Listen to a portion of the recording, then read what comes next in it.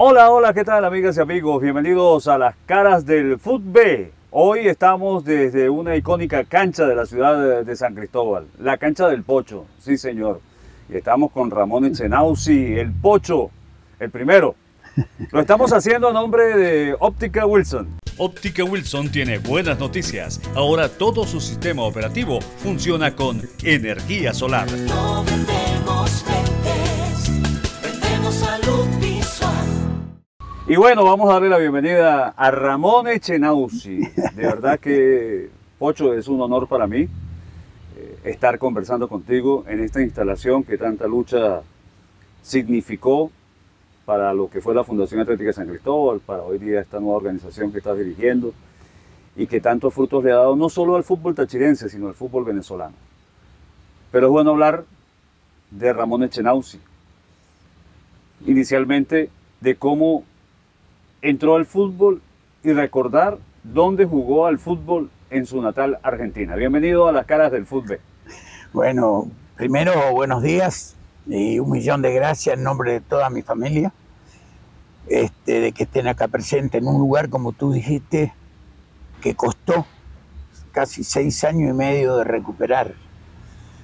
Y moviéndonos, moviéndonos todos con el apoyo de todos los periodistas, de todas las personas, de todos los comerciantes, que, que nos dieron la posibilidad de poder regresar a tener nuestra instalación. Eh, esa es la presentación de del lugar o el espacio donde estamos. Pero mi carrera empieza muy chiquito en las categorías menores de Boca Juniors, donde nos tenían Juan Evaristo y Corsi, dos glorias del fútbol argentino. Este, y ahí empezó el primer movimiento serio, porque antes empezó en el barrio, con las medias, con Pavel y jugando en la calle, con las pelotitas pulpo, que ya no sé si estarán unas rojas y amarillas, de goma que, que empezamos a patear con algo que rodaba por sus propios medios, ¿no? Bueno, fue un inicio muy lindo, muy lindo, Carleto, este, porque primero me tenía que movilizar desde mi casa hasta, hasta eh, la cancha de Carcarañá, o sea, atrás, cerca del, del, del, riachuelo. Y después, por consejo de Nano Gandulla, otra gloria del fútbol de Boca Juniors, nos aconsejó que, que ahí en ese momento era difícil quedarse, que buscáramos otro espacio.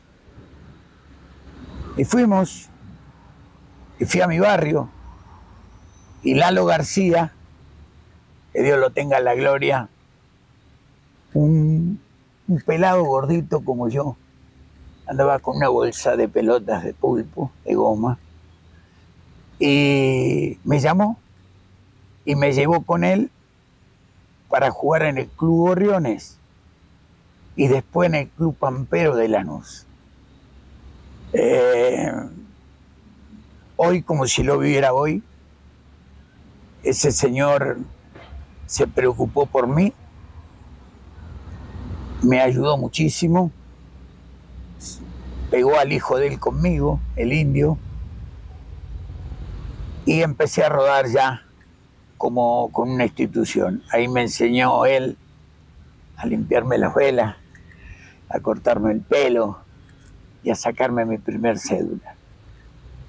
Es el, el pelado que, que me ilumina, que me cuida, que me da salud, que el recuerdo siempre permanente de él.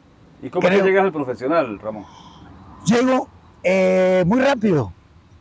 Eh, voy a Lanús, quedo en Lanús, nos juntamos con un grupo de jugadores bastante bueno y Lanús nos da la oportunidad a un grupo, a la Chancha Ustú, a Carnaval, no los puedo nombrar a todos, serían muy larga la no lista. No, no terminaríamos porque muy buenos jugadores.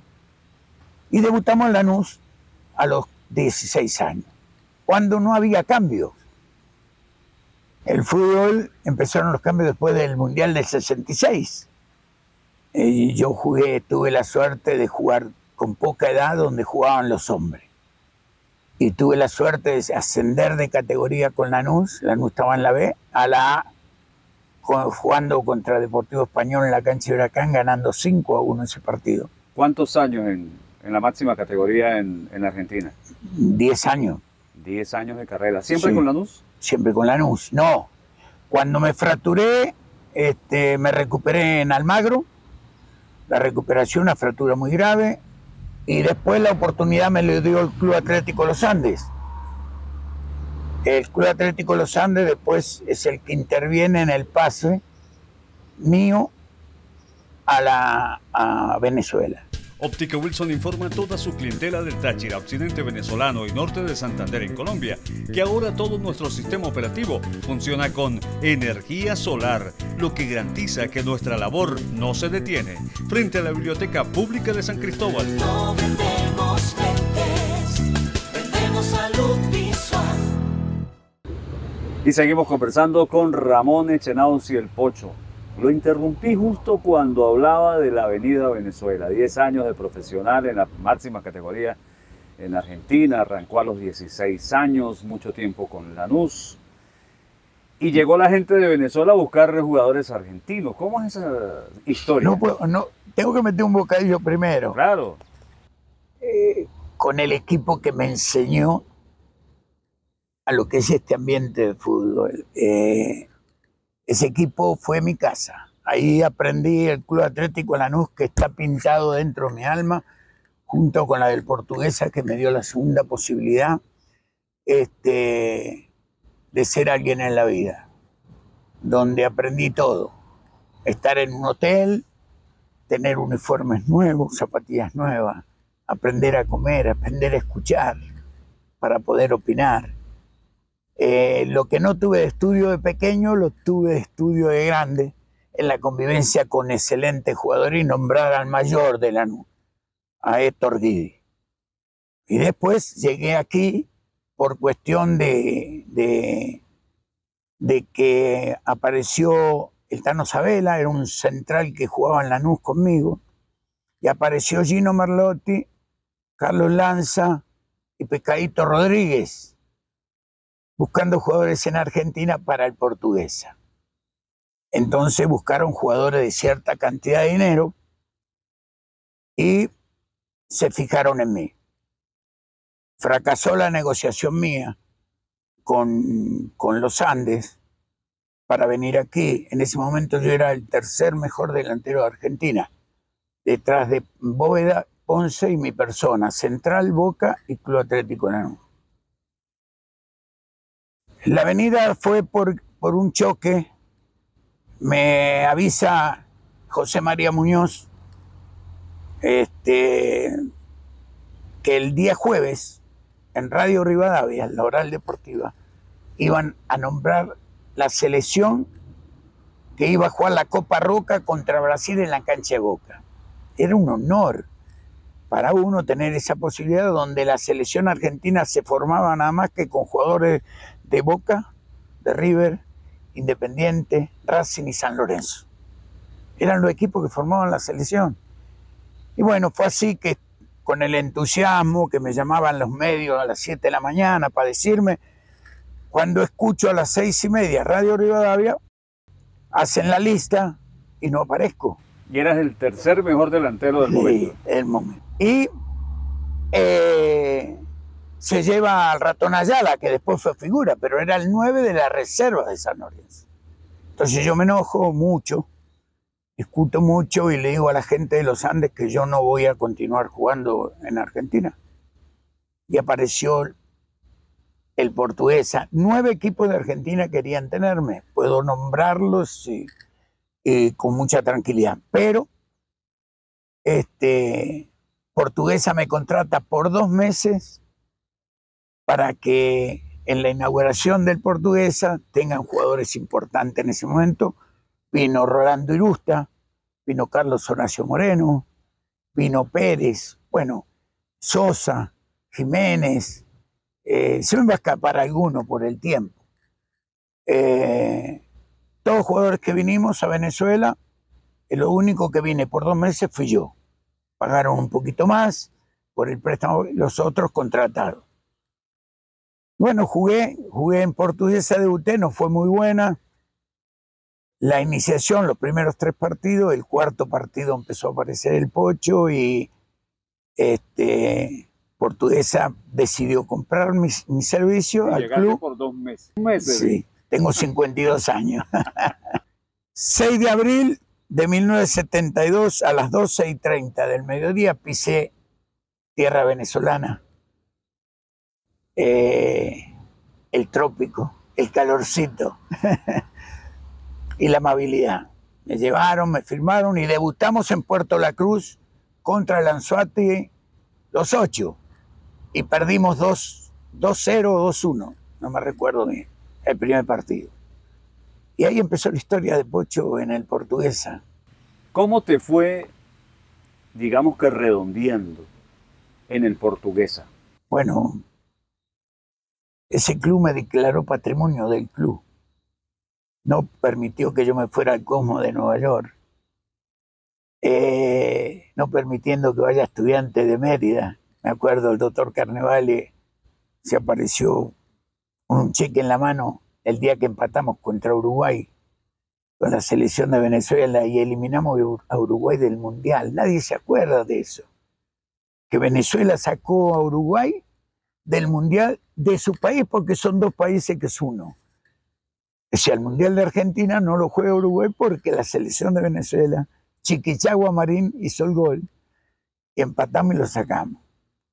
Ese día fue muy lindo porque veníamos de una huelga de jugadores profesionales porque no aceptaban de que principalmente yo jugara en la selección de Venezuela. Y después del partido, lo más lindo que me pudo haber pasado fue que todos los muchachos que hicieron la huelga me esperaron junto con Carnevali, que fue cuando me hizo la oferta, este, diciéndome que ojalá que muchos venezolanos lo hubieran puesto como yo le puse. Para mí es un orgullo, tanto para mí como para mis hijos, para Daniel, para Miguelito, para Darío, y especial a la, a la jefa, porque yo digo que ella fue la sabiduría, la inteligencia, una compañera especial para un deportista y para su familia. Desgraciadamente, Josefina de Chenauzi lo está diciendo, Eh. es la jefa.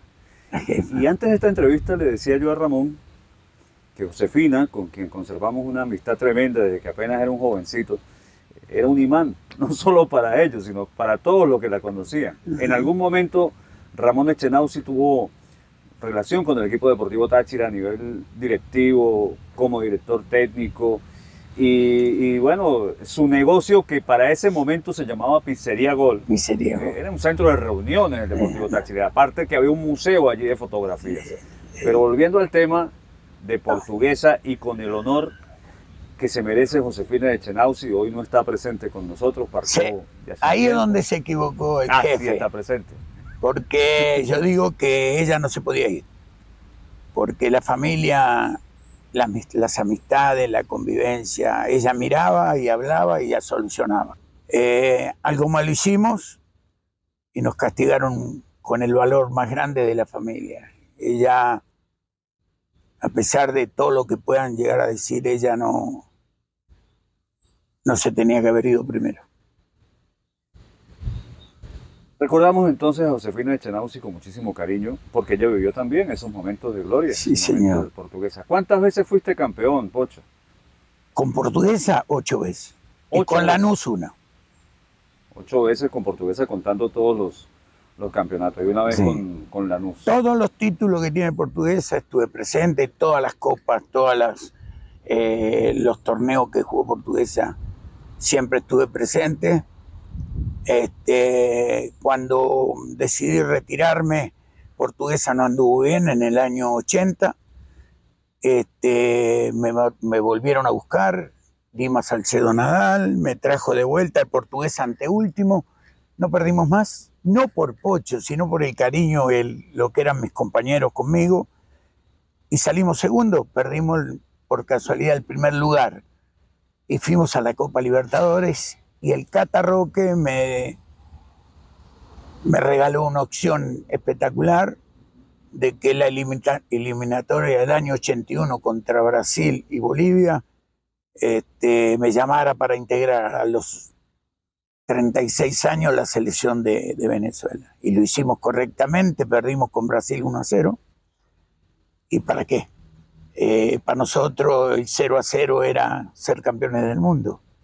Y sobre el final, faltando, no sé, 8 o 9 minutos, no recuerdo, este, un penal y nos, ganó Brasil 1 a 0. Con esa selección enorme que dicen ellos.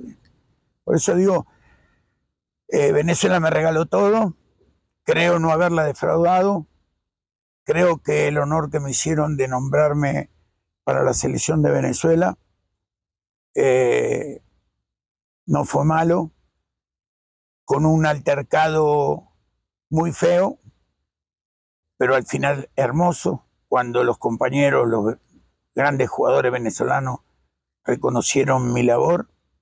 Nunca fui un fenómeno, pero siempre traté de cuidarme para que la gente que, que a veces no valoramos, la gente que realmente nos quiere, eh, nos cuidemos demasiado. Hay gente que no le da de comer a un hijo para ir a ver un partido de fútbol.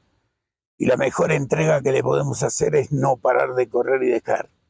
No he visto ninguna vez que insulten a un jugador que deja dentro de la, la cancha todo lo que tiene.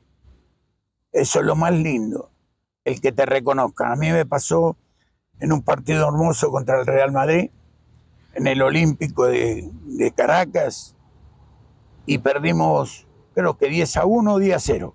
10 a 0, no creo haberle, cuando con Cunningham, con todos los que vino el Real Madrid, y la gente de Venezuela de pie me aplaudió y me reconoció mi trabajo. Óptica Wilson tiene buenas noticias. Ahora todo su sistema operativo funciona con energía solar. No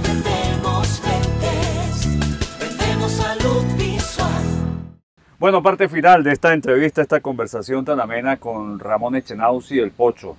Hablamos de Daniel, un gordito, de Darío, un flaquito que después se volvió gordito, y de Miguelito, otro flaquito, apuerpadito, así como su papá.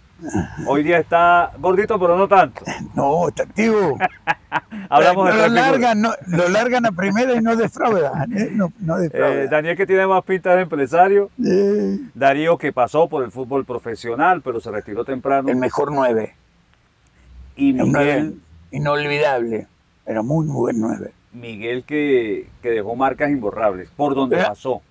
Y digo, Miguelito eh, casi, me, casi me mata el día de Ecuador, el día del 3 a 3, donde lo nombraron el, el lateral, mejor lateral de la Copa América. Partido con Estados Unidos. Con Estados Unidos, hizo el gol y Vamos a contar rápidamente. Estados Unidos le valieron un gol que nunca, nunca, existió. entró la pelota, nunca Y entró. el, el- el público que estaba presente en el estadio en esa Se- Copa América se pues, puso del lado de Venezuela. A todo el estadio. Y en una jugada extraordinaria que de verdad que se erizan Sí. los pelos de recordarla, Ah, Miguelito. Chenauzi hizo el gol. Sí. Y, y una cosa que, bueno, lo hemos escuchado eh, en español, en inglés, eh, es, es una cosa extraordinaria, un Yo gran digo, recuerdo. yo digo que, a ver, empezando esto, Daniel fue campeón nacional, el gordito, Miguelito también, cuando era niño, Darío, un jugador buscado por todos lados, un 9 muy bueno. Potente, Tengo los, potente. tengo los nietos, tengo los nietos buenos jugadores y tengo los nietos buenos. Tengo dos ahora que están jugando aquí y que realmente creemos que tienen condiciones para llegar. Ojalá ellos tengan la suerte que ha tenido uno, que ha conseguido un ángel detrás como Lalo García que me ha apoyado en todo. Y sigue apoyándome. Y te agradezco en nombre de toda tu familia, de mi familia, de toda mi familia y de todos los simpatizantes del Deportivo Táchira por el respeto y el cariño que nos tienen. esperemos no defraudarlos. Hasta ahora, la etapa principal mía, que no sé hasta dónde va a llegar, ojalá sea por mucho tiempo, tiene detrás a los que enarbolan la misma manera. Sí, como, como te puedo decir, eh, Miguelito, Darío y Daniel siguen en el mismo ambiente de seguir trabajando por los niños de, de Venezuela. Por los niños de Venezuela, porque como decíamos hace un momento de estas instalaciones y de las viejas instalaciones al lado del Estadio Polo Nuevo de San Cristóbal, salieron muchos talentos para el fútbol venezolano. No nos podemos olvidar de una, no- de una señora y de un señor. Ah, No he nombrado a Juancito, Juancito. Mi hermano, y a Lolita, que está en la oficina, y el respaldo que todo. Y a mi nuera, que por muchos años han trabajado en, en la formación. y a mis nueras, porque realmente son el sostén de estos momentos que, que uno está pasando. Satisfecho, porque mucha gente piensa, ay, ¿qué le voy a dejar a mis hijos? Eh, le voy a dejar un edificio, un carro, una casa, un terreno, pero yo que los conozco de hace mucho tiempo y que tuve el, honor de, conocer a, Josefina, yo los veo con, dos tipos de herencias. Esa herencia de valores que, dejó Josefina, los valores de la casa, los valores de, de darle la mano al amigo, de ser solidario. Y los valores de Ramón Echenauzi que ha ido de generación en generación, que son los valores deportivos. La verdad que nos, nos identificás muy bien. Yo digo que si yo no hubiera tenido a Fina en la espalda, empezando cuando nos casamos, ya ahí mi carrera, cuando nosotros nos casamos con Finita, eh, mi carrera se podía truncar porque yo tenía que ir al servicio militar y me tocaban los años de servicio militar y por ahí yo jugaba un par de años y en el servicio militar se hubiera perdido. Nos casamos y me quedé para poder seguir jugando cuando fue la lesión tan grave, la compañera de estar todos los días y luchando fue ella. O sea, mi familia es fina. Mi familia gira alrededor de fina. Y independientemente de donde esté, eh, eso no lo va a cambiar nadie.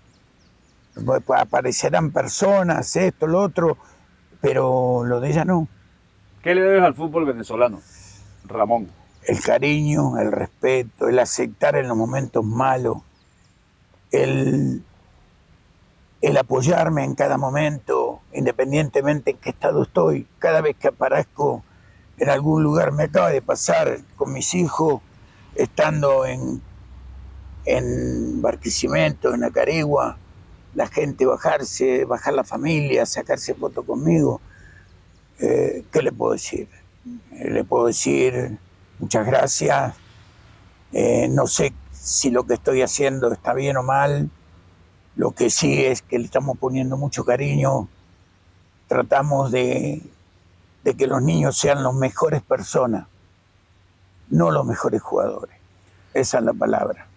Amigas y amigos, Ramón Echenauzi. Comenzó a los 16 años, 10 años en el fútbol profesional de Argentina, llegó a Venezuela, más de 50 años en el país, estrella del Portuguesa Fútbol Club, estrella de la Selección Nacional de Venezuela porque se hizo venezolano, Ramón Echenauzi, y gran formador junto con toda su familia de los nuevos talentos, de las nuevas figuras del balompié venezolano. Ha sido nuestro invitado hoy aquí en las caras del fútbol. Ramón, de verdad que un orgullo haber conversado contigo, haber compartido y tener la oportunidad de mostrarte una vez más ante el pueblo de Venezuela y del mundo. Yo decirte gracias sería poco. Eh, de recordar que todavía estoy vivo y que sigo luchando por este fútbol.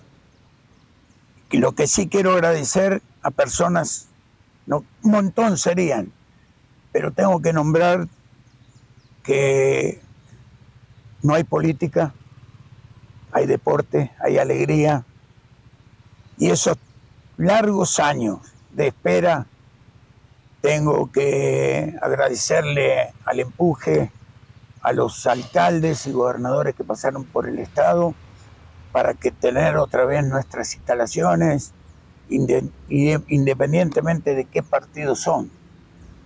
Y tengo que nombrar a Juana, tengo que nombrar a Sánchez Fran, tengo que nombrar a una persona que la quería dejar para el último porque el cariño con él mío siempre va a estar.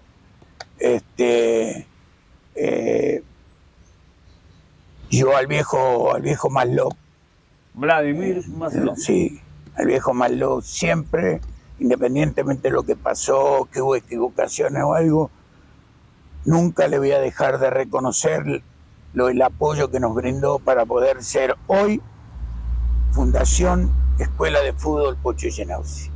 Hubo un momento de, de problemas, equivocado de parte y parte, pero mantuvimos este, no el contacto, pero sí el respeto hacia las personas que nos han apoyado.